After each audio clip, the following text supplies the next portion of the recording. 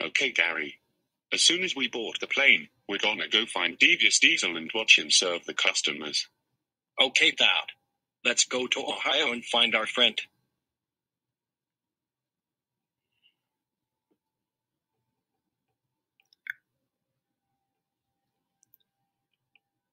Well, that was extremely awful for my second job. And I can't believe I ran into two people who watched GNN and one of them gave me a beating. Anyway, forget this. This is the second time I've been fired. Where should I? Oh my god. We have got to find Devious Diesel before the police find us. Hello there, Greg and Gary. How are things going? Well, we escaped jail and we're gonna find Devious Diesel. But before we do, we're gonna work with you at your next job. Okay. There is a Penn Station restaurant close by. Let's go. Okay, guys. You can go in the camera office and if any customers try to beat me up, you can kick them out. Okay. Good luck, guys. Welcome to. Oh heck no.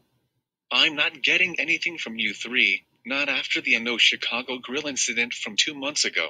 Okay. You can just get out of here, Cryo Bush. That nickname fans gave me got old several years ago. I'm just gonna get ready for the Michigan doubleheader. Welcome to Penn Station. How may we help you?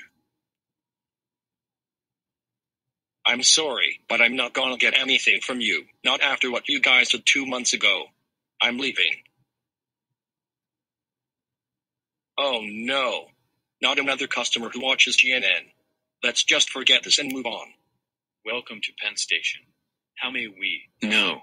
I'm not getting anything from those two goblins behind you after they wished me unhappy birthday. I'm so out of here. Um, do you guys know that kid? Yes, but we'd rather not talk about it. Let's just move on. Welcome to. No, I'm not getting anything from those two goblins behind you. After what they did to that boy, I'm so leaving. If we ever see another person who watches GNN News, we'll flip out. Anyway, let's move on. Welcome to Penn Station. How may we help you? Wait a minute. I saw you on the news. And you must be Gerald. I can't believe you attacked so many people in your jobs. What? Are you kidding me right now? I am not Gerald. I do look like him, but I'm not him. My name is Bailey. You're just saying that so you won't get caught by the police. That's probably a disguise you're wearing right now. You listen here. That is not Gerald. That's Bailey.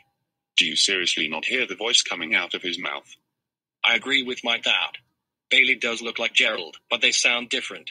Gerald's voice is Simon and Bailey's voice is Joey. Oh, sorry. I thought that was Gerald. Anyway, how may we help you? I'm not here to get anything. I just want to give you guys something. Fine. What is it? Payback for what you all did to Jakir Anderson. No. Don't you dare.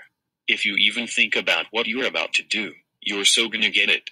Please no. Ow, ow, ow, ow, ow, ow, ow, ow, ow, chow, chow, chow, chow, chow, chow, stop, IT, stop, stop the W, A, A, A, A, A, A, A, A, Oh, oh, stop it.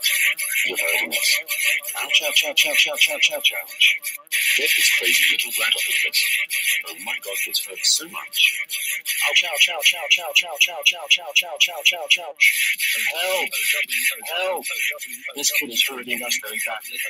Oh, oh, oh, oh, oh, oh, oh, oh, oh, oh, oh, oh, oh, oh. What is your problem? Please, stop it. Get off of us right now.